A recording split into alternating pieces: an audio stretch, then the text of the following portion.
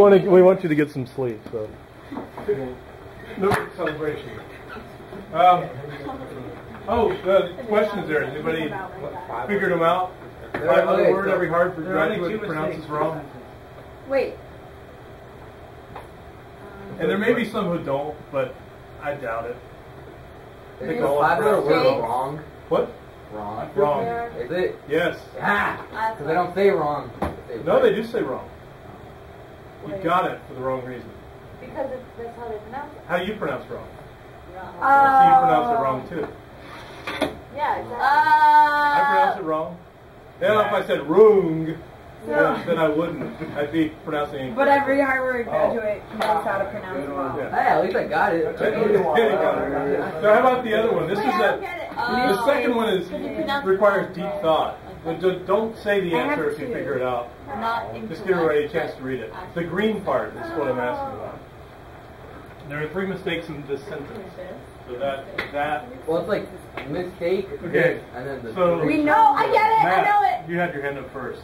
Yeah, it's mistake is spelled incorrectly. This is incomplete, and there are only two mistakes in the sentence. Right, which is Uh, parad- paradoxical. I was the one. So it's like it's like looking in a mirror in a mirror in a mirror because once you realize there are just two mistakes, then it really is right. Why is Seth so tiny? Seth didn't show up much, and Natalie I kind of forgot about her. Natalie kind of Natalie. But she she has a bigger problem than Seth. What happened to the winners of who was the most creative vote? I really think that We didn't have a category. I'm sorry. for the year? Come on. Way long. Every time. Let's get. First boat to capsize. Twice. Capsize twice. All right. Now the, the answers to the vote study guide. I'm going to go through this quickly. And what time do we have to be out? Do you know what the schedule is? I don't know, but there's a It's good on my- bake sale that everyone should go to. It's on my desktop. So we have until 11:16, and I'll, I'll let you out. I promise not to keep you later. That's the I know Yeah. Yeah, no, there's performance at 10:30. But we don't usually. At 10. 10:30 is when the performance. No, is. but- Okay, no, 10:30. Yeah. Sorry about that. So this is where all the answers are. Those of you who haven't done it, don't look at all these before The you. logs are due do today. Due today. Dang it! Do you not have it? I didn't know they were due today. I, it's, I've been saying that every once in a while and putting it on my website. I'll just I'll take off just a few points, very minimal amount. Just get it in next class. Alrighty. Okay, so I'm going to go fast. If you normally I wouldn't just kind of read this to you, but I'm going to. Know that it's right here, and the reason I want to go over it at all is I think some of these are not totally understandable as they are, but most are. So number one, what types of boats have planing hulls? Boats that need to go fast. Speed boats. What's the function of a planing hull? The purpose is to lift the boat out of the water as the boat accelerates. Why? This decreases the force of drag by decreasing the boat's cross-sectional area that's exposed to the oncoming water. So as your boat lifts out, less water, less area is pushing against the water. The, a lot of these first few, these were warm-up kind, kinds of questions, and a lot of you have been absent, so some of you probably never saw these or talked about them. But this is a, I guess it looks like three different boats, but you- you understand, you can understand it from this. This is a boat creating some waves. As your boat moves along, it creates a bow wave, mm-hmm. and when your boat is moving slowly, the wavelength is short, and the boat is fine. When the boat's moving at what's called the hull speed, you create a bow wave, and the wavelength of this wave is the length of your boat. So you've got a hump in the front and a hump in the back, and the boat's fine, it's balanced. If you exceed the hull speed, then you create a wave longer than the length of the boat. You can see that your boat has to climb out of a hole that it's dug for itself. The boats become less efficient at the hull speed. Hi.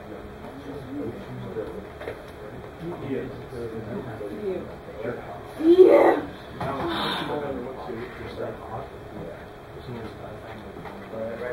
Yeah.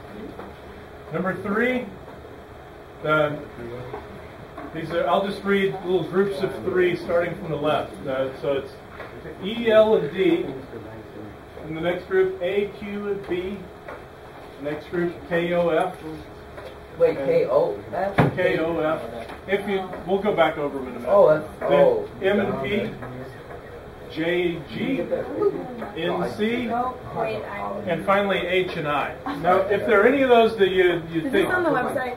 yeah, Okay, if there are any of those where you got them wrong and you don't really see why, let me know and I can explain. It, it might be my diagrams are a little confusing.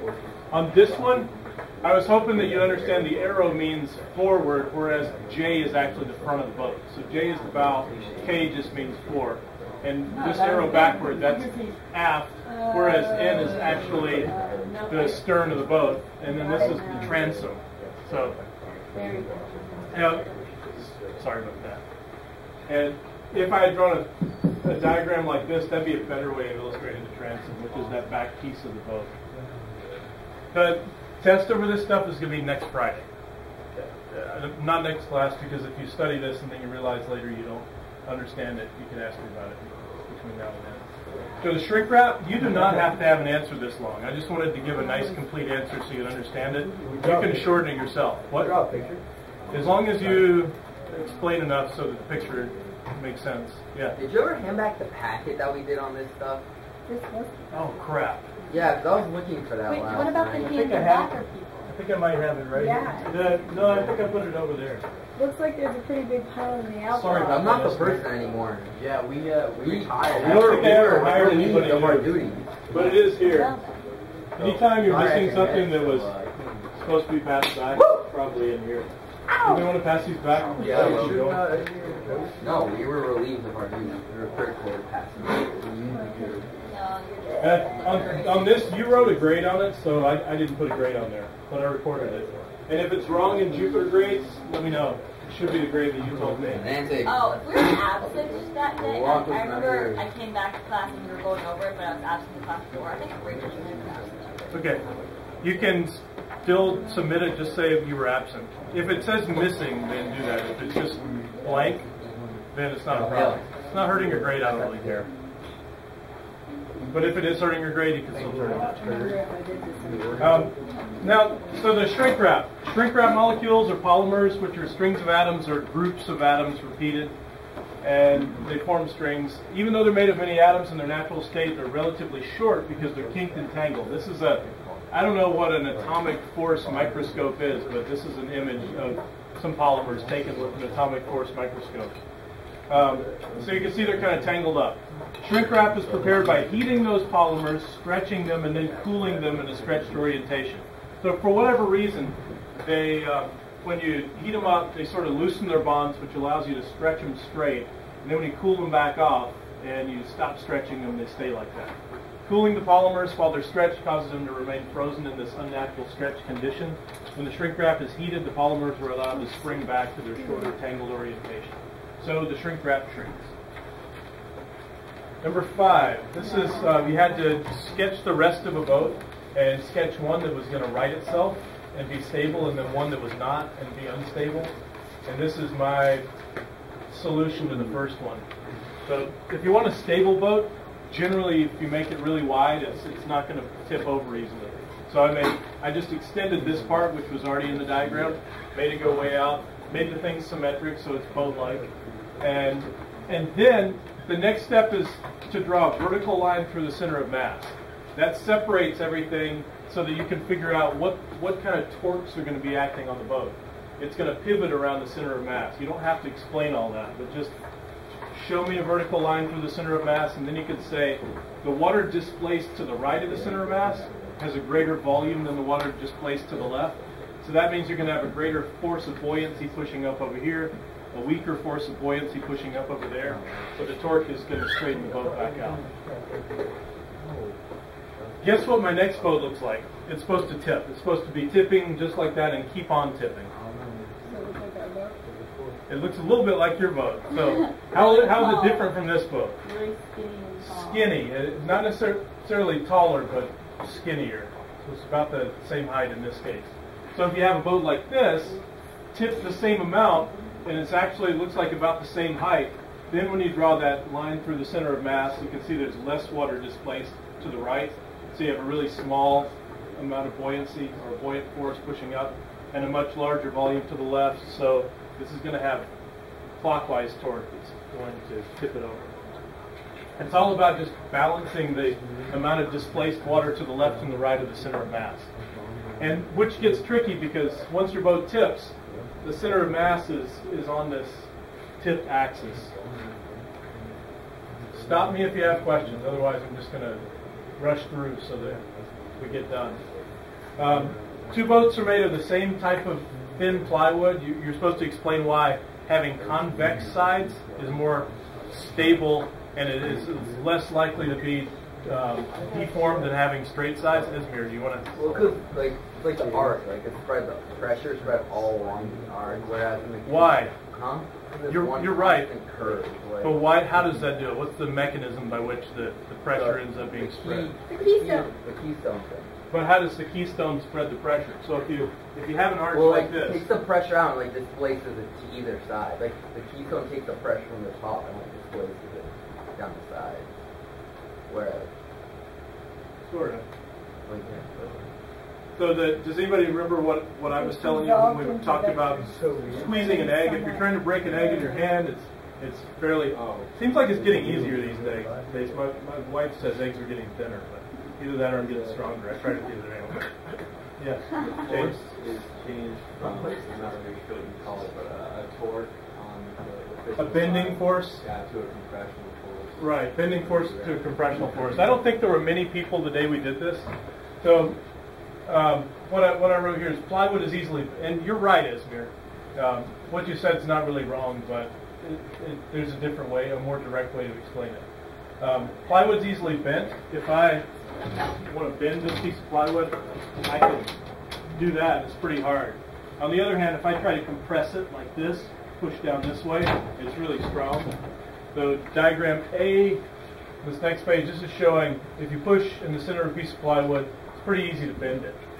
Diagram B, let me shrink this down so I can talk about it and read it. Diagram B shows what happens when a similar force is applied to a convex piece of plywood. As the force is applied, it gets resolved into vectors running somewhat parallel to the plywood's length. So, Esmir, if you're designing an arch, there's a particular, it's called a catenary. A catenary, it's not like a, it's not a parabola exactly, but a catenary gives you the geometry that when you push down here, there, there end up being in component vectors that there's, there's really no component vector pushing this way. They all go along the, the, um, the arch. So the, the, the keystone pushes this way, and the next one pushes that way, and the next one pushes that way. If you have one pushing down here, it makes your arch unstable. If you have something pushing out like that, it's unstable. But by the particular geometry, the forces get directed parallel to the length of it. So instead of having a bending force like this, you get compressional forces along there. So if you had people holding this at, at both ends, if there were people holding this, they wouldn't they wouldn't get pushed out at all. This would come down, and they would feel the weight, but they wouldn't be pushed out. If you had people holding the ends of this and you pushed on it, when you're pushing down, that would actually force the people outside. So it's it's turning it from a situation where it's the force is, is acting on it in a, in a way that it's weak to a way that it's strong by turning that into a compressional force. Number seven. Anybody get a, an answer for number seven? Curious. How many pounds of ballast, or sorry, kilograms of ballast would need to go in the bottom of the boat? no idea. I don't even know. Everybody? No? Okay. So with this one, the, the answer I came up with is 135 kilograms. That's what I was gonna say. But Is it? Yeah. You should have just said it. Come on. What? Say it. Can we go over all the math and like detail? Because like, Yes. oh, So far, there really hasn't been much, though, right? no, there hasn't Okay. been any to. Yeah. I'll go over the math in detail. Yes. Do you have an extra packet? Yeah. And I The should have a long here. time ago put a link on my website. They're right. There's some right there. Can you somebody pass one of these, or James can get it? All right. So this thing, this would be a very unstable boat. In the situation, somebody's standing up in this boat, and the center of mass is way up here. So what, what what's going to happen to this is the thing is going to keep tipping. And you want to add enough ballast right there so it stops tipping. What's what's the minimum mass of ballast that has to be added to that little point down there so that it's not going to tip anymore? Um, the first thing I did, I've, I've been using this sheet of paper as an example. Kind of messed it up.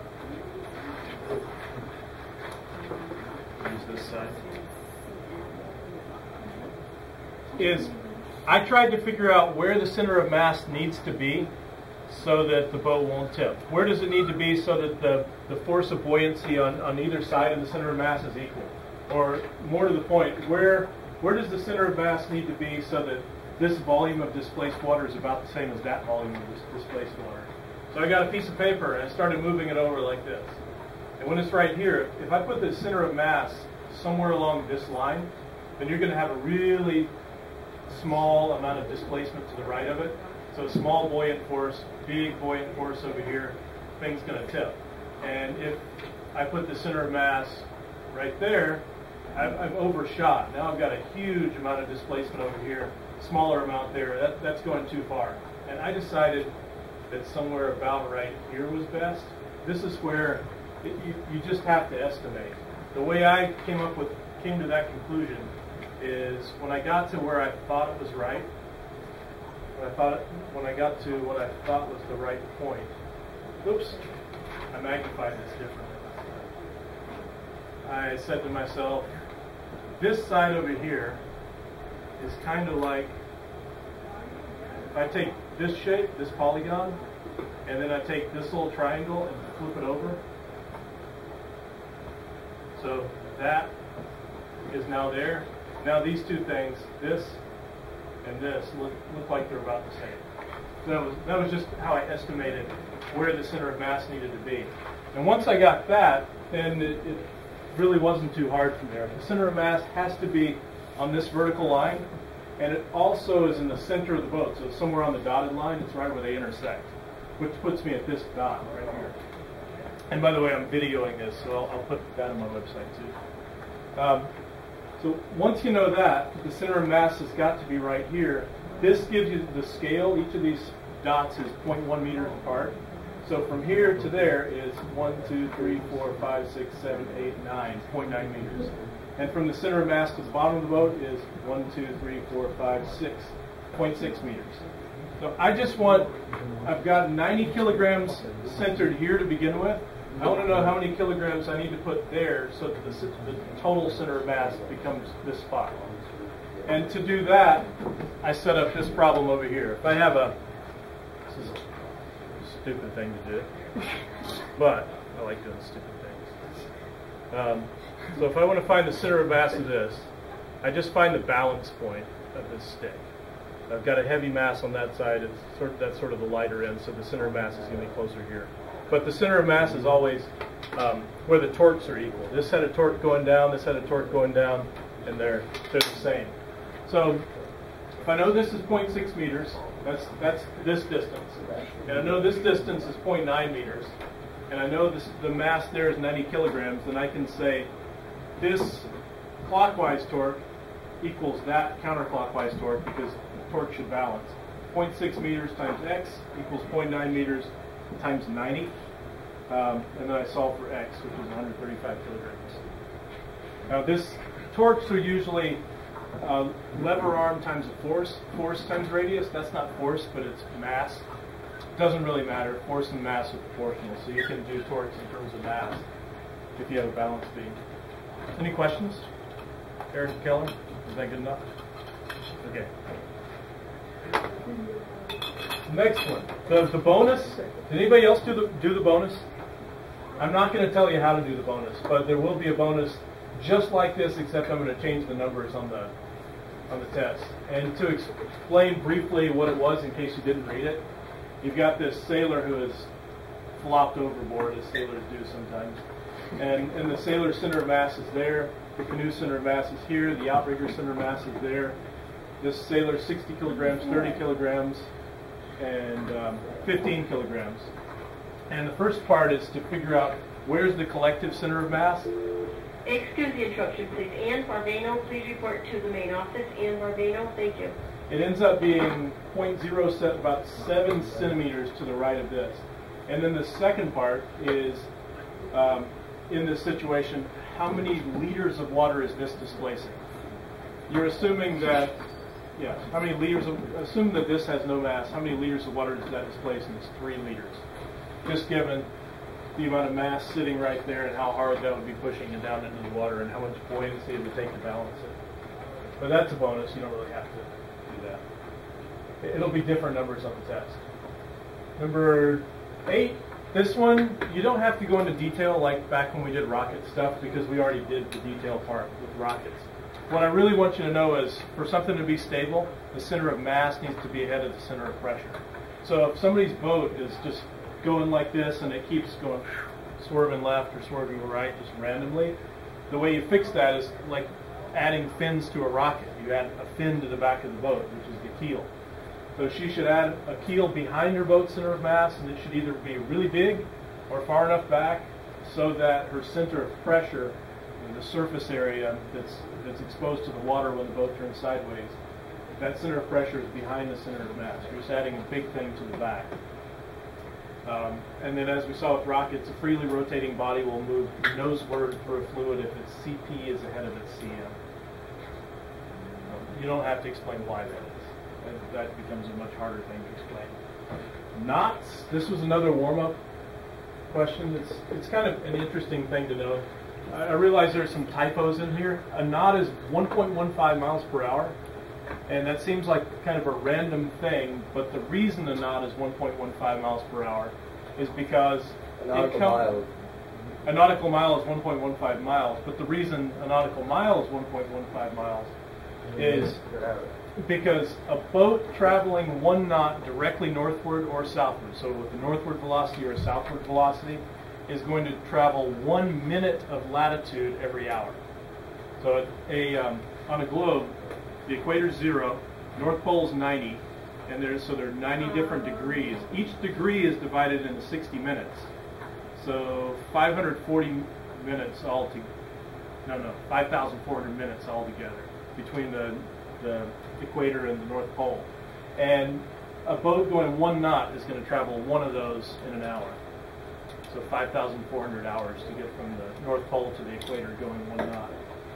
Uh, and the reason that's kind of useful to, to sailors, um, they still use it today, is that on a map, if you have lines of latitude, they're going to be like this. Near the equator, things aren't very distorted, but you get farther from the equator, and the latitude lines, even if this is 10, 20, 30, 40, 50, because of the way a map is distorted, um, it, you know, the, those spacings are different.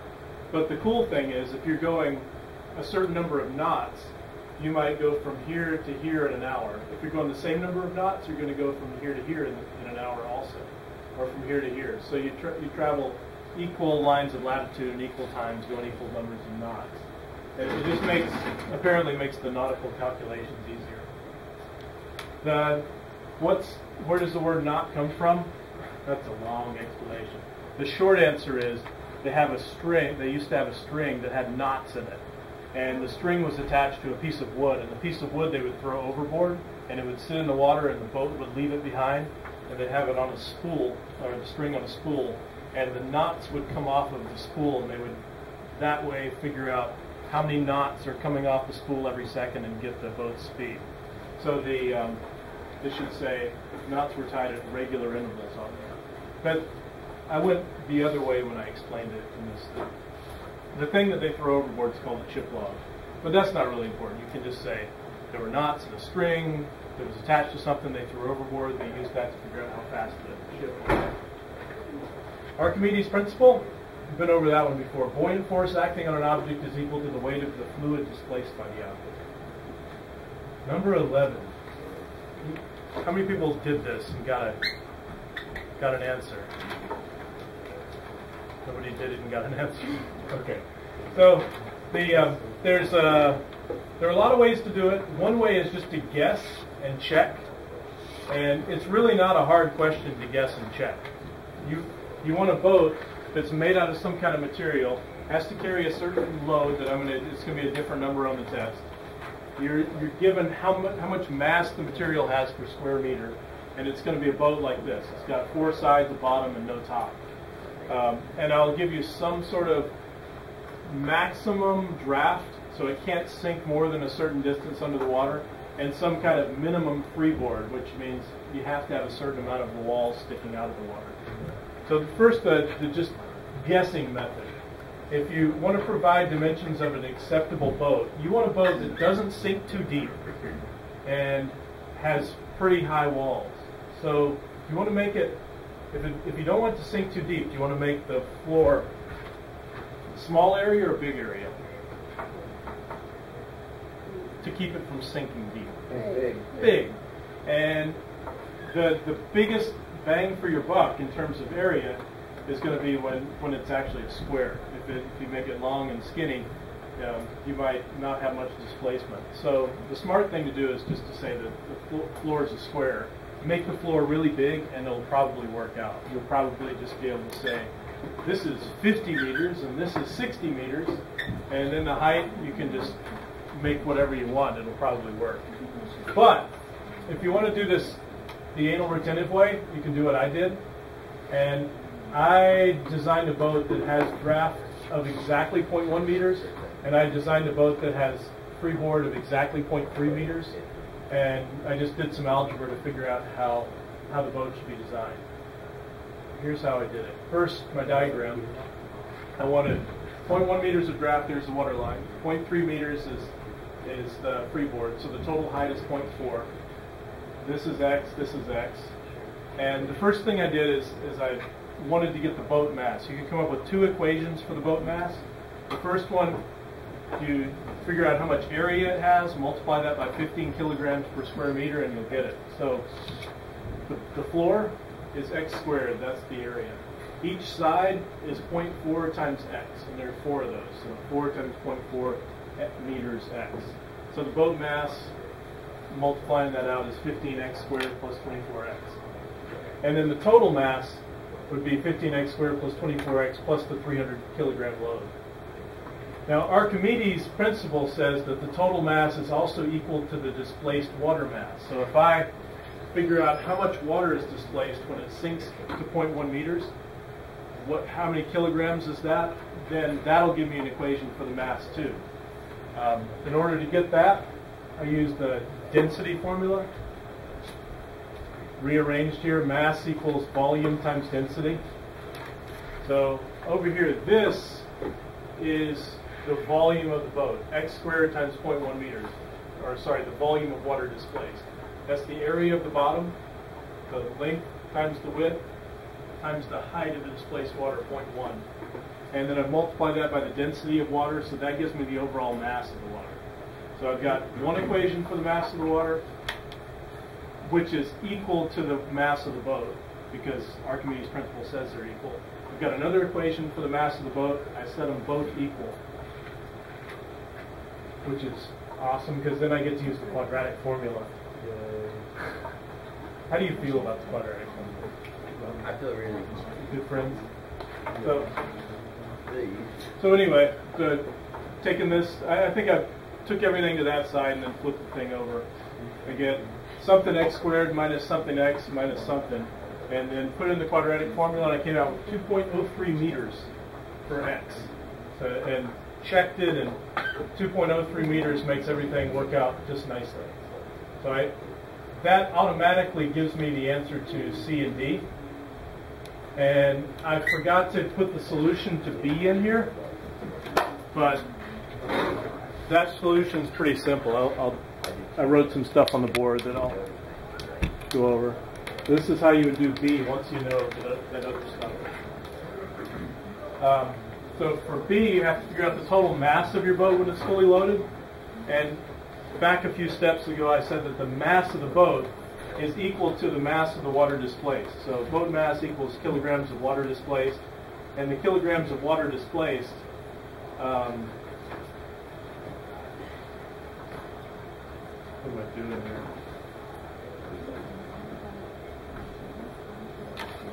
What did I do there? Oh, so I think that my order up here is kind of screwy.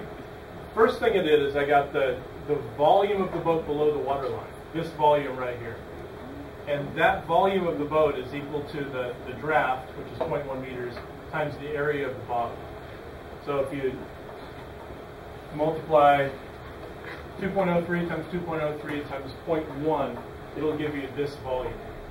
And then if you know the um,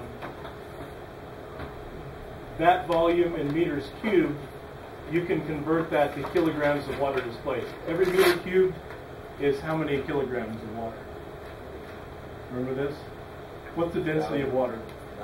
1,000 kilograms per meter cubed. So every cubic meter, knowing that volume, you can use the density formula to figure out the mass of water. And if you know the mass of water that's displaced here, that is the mass of the boat. So when you do that in this situation, I get 410.5. I don't really have to do C and D because I set it up so that I would have those in the first place. I decided that those were going to be my two numbers. Now you could just, like I said, you could just guess, and and this often this is pretty easy to make this work.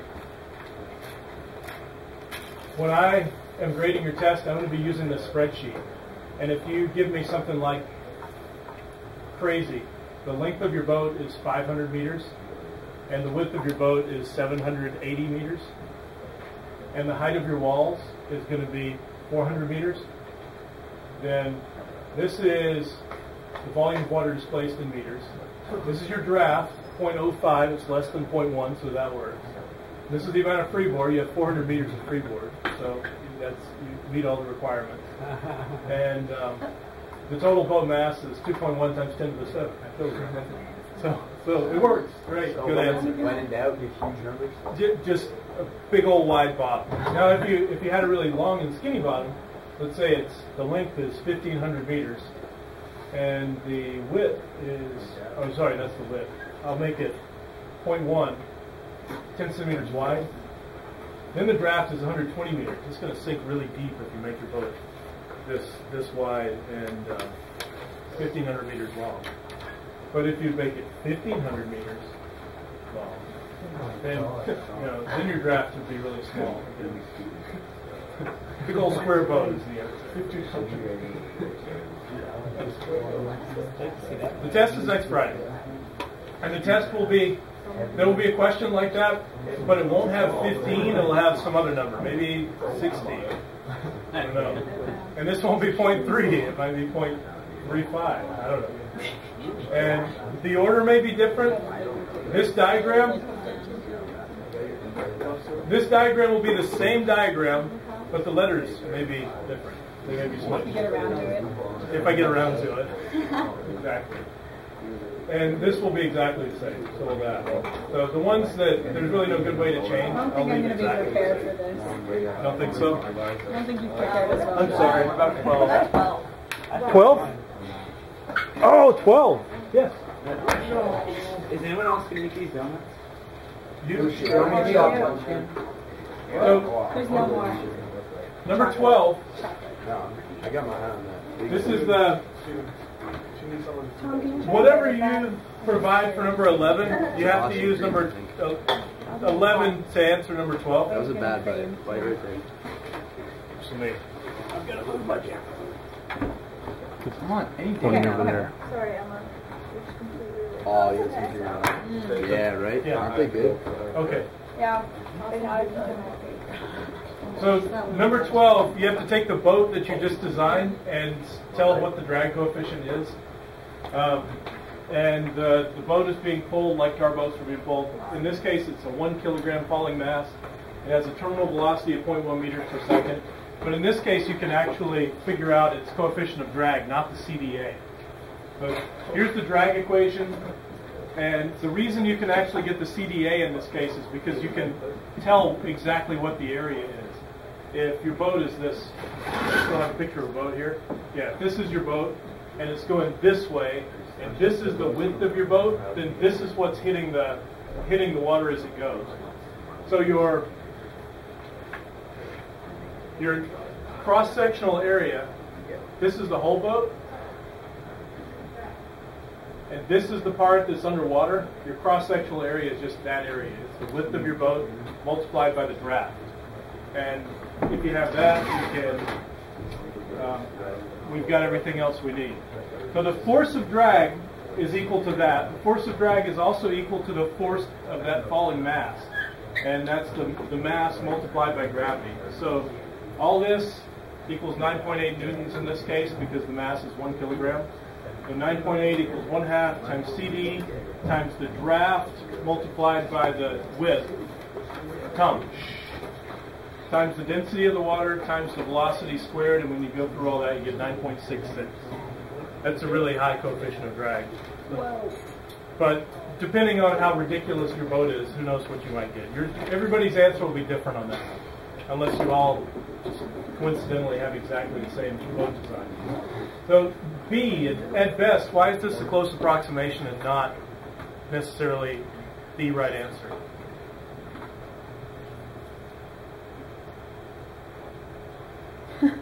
Why isn't this a necessarily the right answer?